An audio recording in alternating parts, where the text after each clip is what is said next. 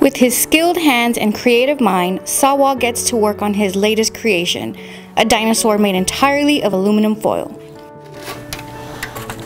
His name is Rock, the big fish. For the sixth grader who attends Wrenn Middle School, his passion for his unique creations was encouraged by his favorite teacher, Mr. Jimenez. One day after lunch, because I have him um, uh, right after lunch, he came in with uh, a foil figure, which I assumed that lunch had some type of foil, so he started creating it. So uh, when I saw that, I ded dedicated a box of foil, and uh, so every day after our lesson, I would give him something, and it kind of started it kind of started from there. So he knows now after the lesson, he just says, sir, can I have some foil? And I give him two, two to start off with. And uh, ever since then, he's been making so many different creations that I have a box full of, of his stuff.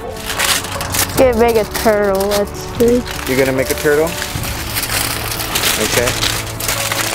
Why do you want to make a turtle? Or a tortoise. Or tortoise, right? There's, there's a difference, right?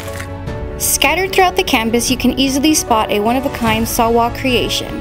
He often gives them to his friends and teachers. Uh, Saw Wah made this for me. Uh, looks like some sort of alien or something, but love it.